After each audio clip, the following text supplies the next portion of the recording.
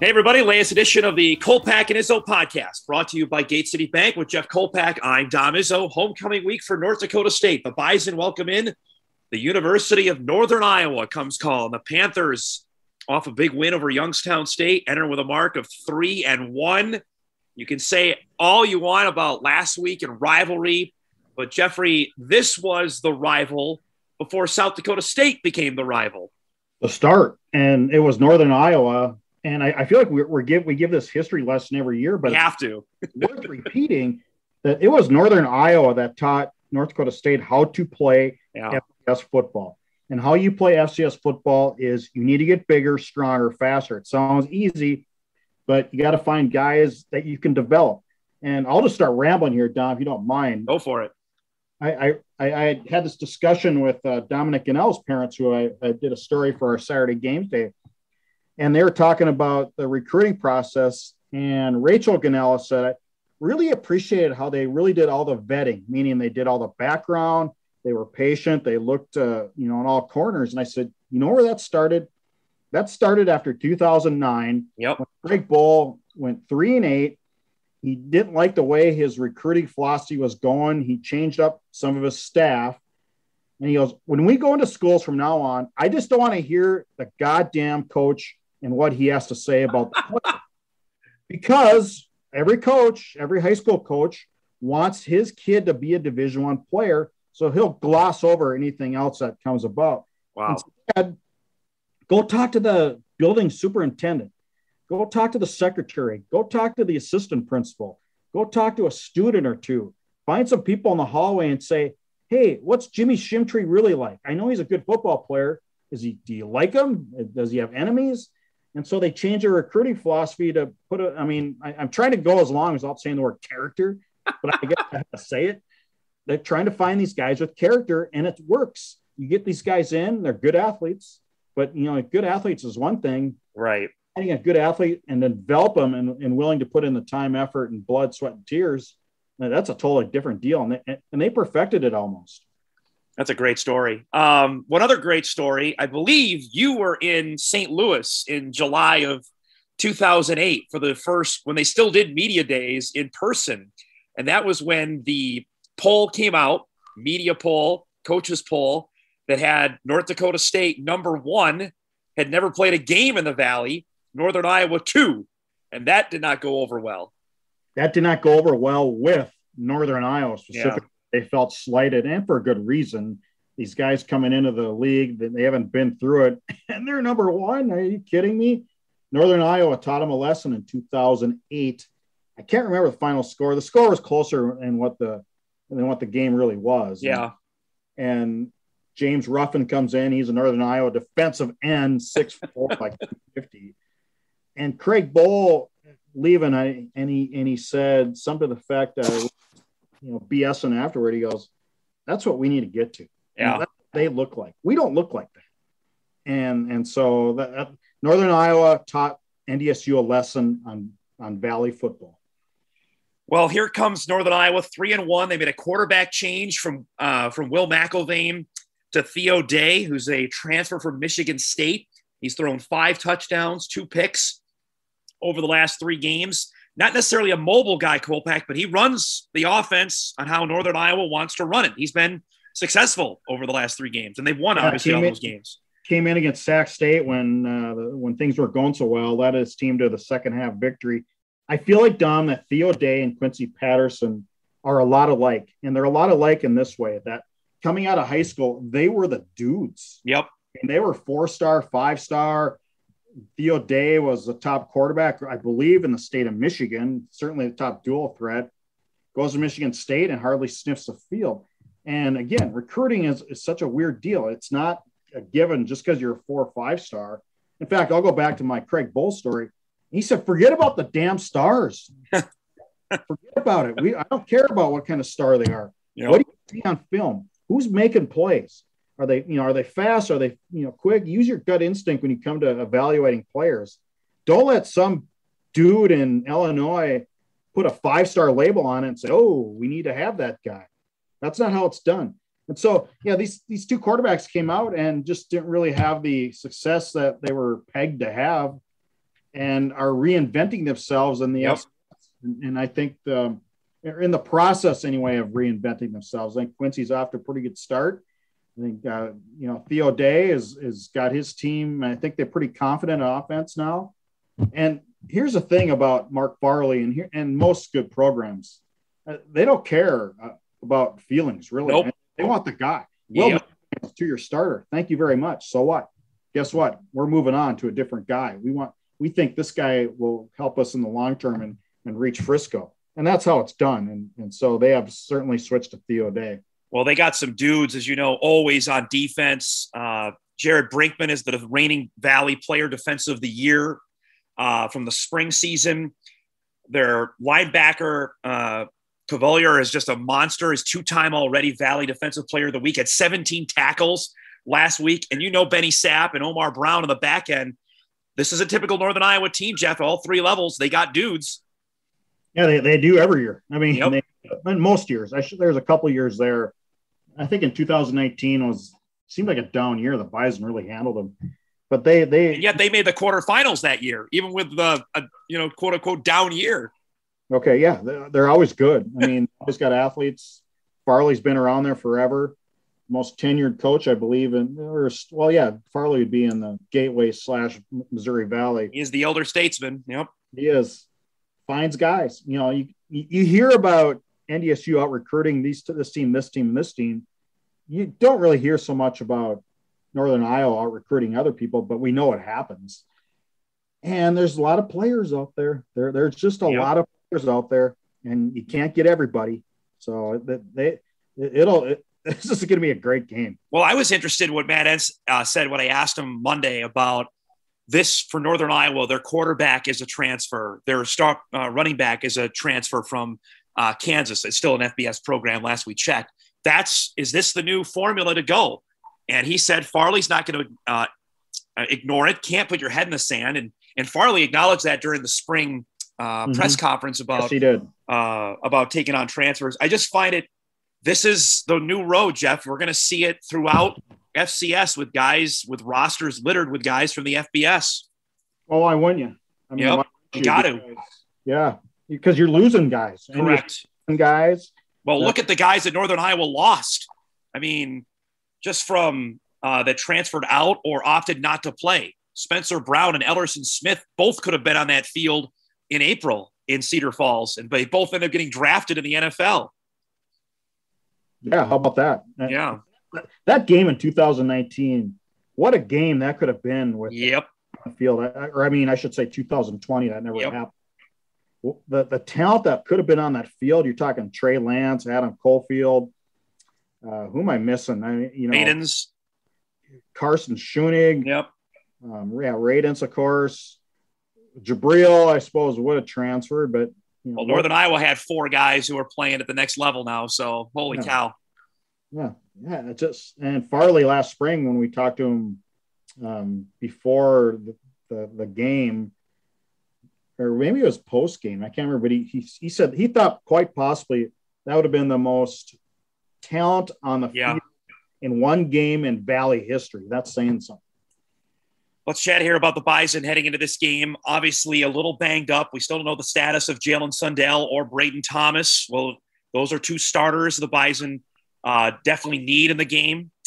They found a way to win at UND. Offense wasn't pretty, Jeff, but they found it at the, at the end. I am interested to see what Tyler Roehl cooks up this week. You are finding a way to get Christian Watson the ball. He's got to touch the ball. Well, it's a no brainer, isn't it? I mean, he can't go two games in a row So, without your probably top pro prospect and, and not getting the ball somehow, some way. I felt like they used him a little too much as a decoy yep. against UND and just instead of just giving him the ball. Uh, Luepke is, uh, I, I like saving him till the second half. I think that's a good move. You can't bang him every game. That- That's a long No. Uh, you know, I I heard that a couple times. Where was he earlier? Well, you, you, you don't use everybody all the time. You can't. And especially with this offense where you got weapons here and there is good. And he was blocking as well earlier in the game too for other running Yeah. backs. for sure. And, and he's a and he's also a tight end sort of kind of Yep. all over the field. Sproles, I think you know instead of trying to force things in, and they just got to happen. Yep. And and you just can't really okay. This series we need to get him involved. This series we need to get him involved. Well, this guy's got to get open. You know, get open, and, and you'll get the ball somehow. Right? Well, they they found out they didn't force it with Gindorff, and look at the game he had last week. Yeah, he was pr- uh, probably the best player on the field. I thought. Yeah, most talented. I mean, I've talked to a couple of veteran, uh, good football eyes, and they thought they thought Gindorff. You know, a couple of guys that were at the game, they thought Gindorff was the most talented player on the field. Interesting. And Watson didn't get the ball, so we, we really don't know that, but um, he was fantastic. I look as well, and the guy you interviewed this week I thought was fantastic was Caden Steindorf, freshman punter thrown into a really tough spot, had three punts inside the 10. I thought that was a guy that UND was going to try to go after. And boy, Jeff, I thought he was really good. I, really good. Yeah, I did a story on him this week. Interesting kid. He he got a uh, direct message on Twitter from Nick Goeser, and he thought it was a joke. He thought someone was playing a hoax on him. Like, oh, really? Yeah, okay. NDSU wants me, but they got him. But Goeser got him. Uh, somebody at a kicking camp emailed Goeser and said, "Look at this guy. He's at 15 punts, nine inside the 20 yard line. Man, punting average is only a half yard more than his average. So it tells me he's getting some hang time. It tells me he's he's accurate, and it tells me he's effective. Correct. He's been really good. Uh, that whole unit, we talked about how much did we talk about it before the season? Reinholz finally made some field goals, and Florentine has been really good at the long snapper, and uh, Steindorf's been really good at, at punting. They've been really good so far. Yeah, and you need special teams. You need those yep. guys good. NDSU's always been good. They won eight titles with guys who were really good in those spots and, and, and dependable. Yes. Dependable is, is, is so huge. you don't have to send them out there and go, oh my God. Yeah. I hope, I hope this works. James Kaiser back had an instant impact, obviously, with the sack that he had. I thought, I mean, defensively, Jeff, they've just been out of this world through four games. I mean, they've allowed three touchdowns in four games. Pretty crazy, huh? Do you, do you think they're at 2019 or the standards of other Bison D? Let's see after this week. Talk to okay. me next week, all right? That's then we fair. can ask that question. Yep, that, that, that's good. That's fair. I I think they're um, they're, they're deep at, at the at the defensive line. Yep.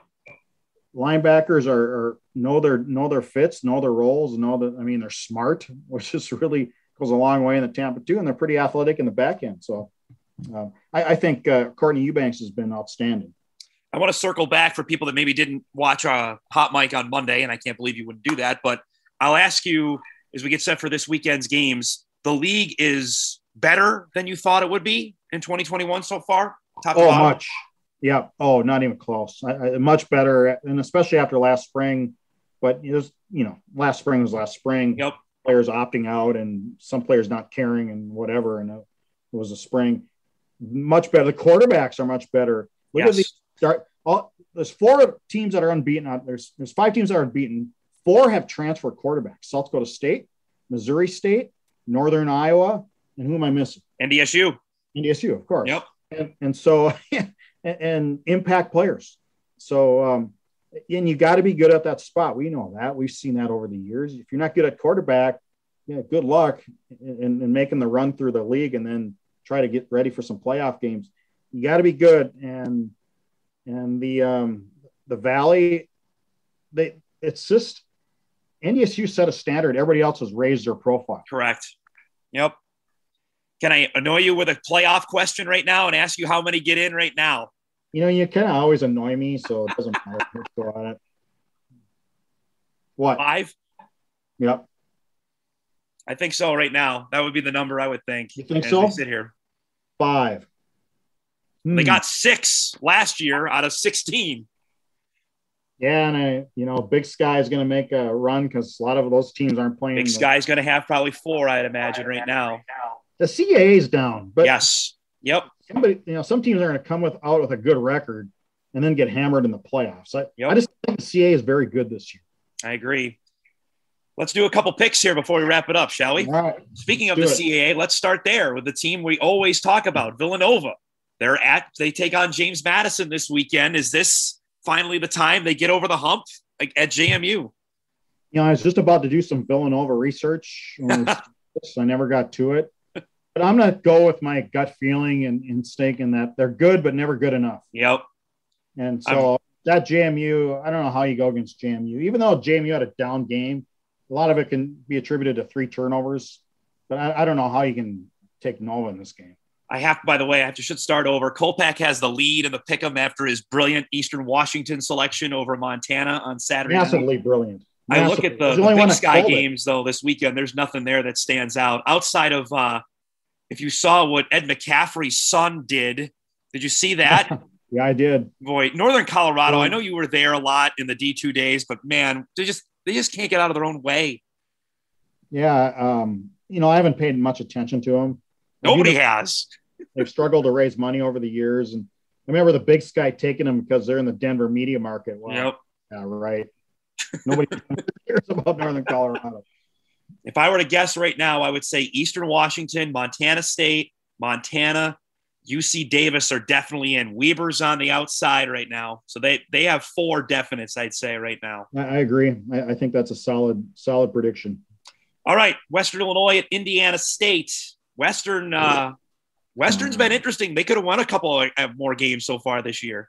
I thought Indiana State would be better. God, they're a better team, and maybe we're finding out that not playing last spring wasn't all that great. Yep.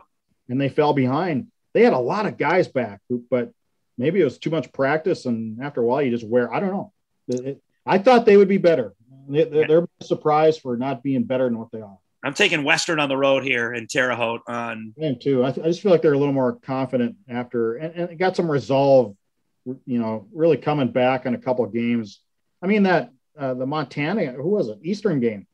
I mean, they were blowing out. Yep. Right.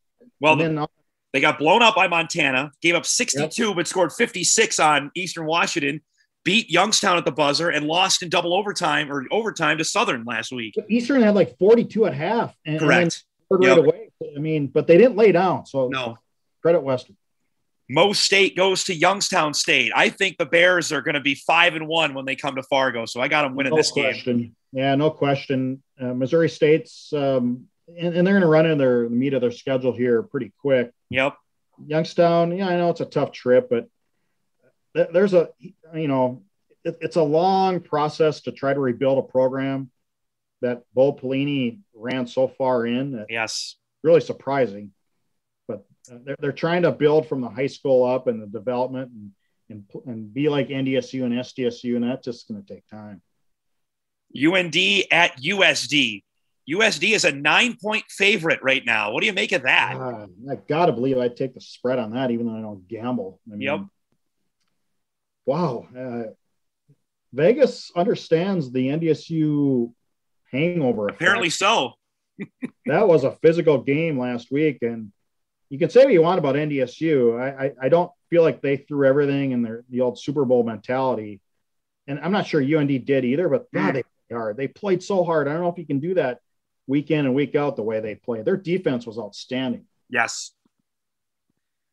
So I'm, who you got? You're going with who here? I'm going to take. Uh, I'm going to take UND. Okay. I'm with you. I think they win this game on the road. USD's been good. They've been in every game. I think this is a tight game. I'm absolutely with you on the spread. I think it's closer than that, but I think UND wins. SIU at South Dakota State. This is round three. This is the third time these schools will have played since March. They played in the regular season in yeah. Carbondale. They played the playoff game in Brookings, and now here we go again with what should be, I think, a dynamite game on Saturday. Well, I, I don't think so. I don't think the third time is going to be a charm. Okay. I've been I haven't been real impressed with SIU of late. Just uh, the way they went about, and they're a veteran team. They got they've had the, to come from behind both the last two weeks to win. Yep. Yeah, veteran teams don't do that. They don't. Veteran teams go in and Western and bury them. You know, they they know about South Dakota State. They don't have to worry about looking ahead. And so there's just something maybe not as potent or powerful about SIU as as we thought. Maybe the quarterback is a little in flux. He's been okay. Yeah. South Dakota State's playing so well. I think they win by two or three touchdowns. Ooh, blowout. That's what happened yes. in Carbondale last year. I think the Jacks win as well. Uh, probably by 10, I think. They're, they're South Dakota State is really, really good right now. A reminder Bison Game Day live, 10 a.m. on Saturday morning on WDAY. Jeff, myself, and a cast of thousands will be there. And then early kickoff, 1 o'clock for Northern Iowa and NDSU. Homecoming always a fun day, and uh, we're looking forward to what should be a great day on Saturday, Jeff. Yeah, and we got Chuck Claybo on the pregame show. Yeah, right? he'll be by as well. It's gonna be good stuff. Yep, Newest member of the Bison fun. Hall of Fame. So, for Jeff Kolpack, I'm Dom Izzo. That's the latest Kolpack and Izzo podcast, brought to you by Gate City Bank.